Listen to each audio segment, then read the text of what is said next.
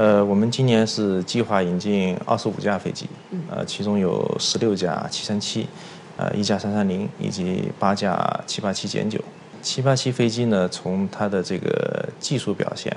和市场表现，呃，在我们海航呢，我们都是呃算比较满意的。它的这个燃油的经济性，还有飞机的舒适性，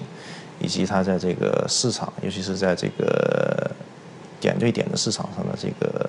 综合表现，我们都觉得还是比较不错的。那七八七飞机呢，在我们的这个国际市场上，啊，尤其是我们的。呃，国内的一线对二线，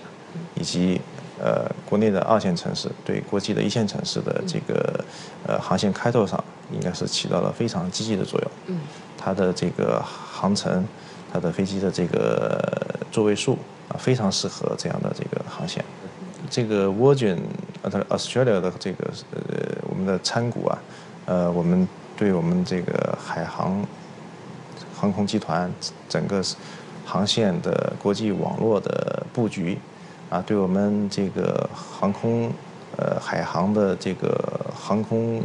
网络的这个合作，以及客户的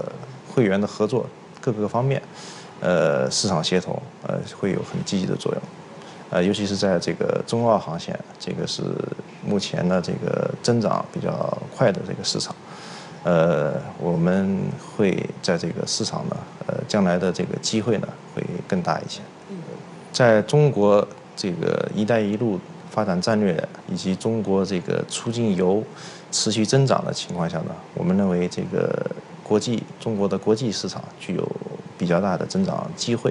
啊，所以我们会持续的去关注这个市场，并积极的去。这个开拓新的呃市场的增量，所以我们会持续的呃加大这个国际的开拓。国内呢，我们是在这个在目前呢国内的这个北上广等一线城市，呃资源相对紧张的情况下呢，我们会去加大这个二线、三线城市的开拓力度。啊，并且会去配合我们的国际市场的开拓，做一些配合。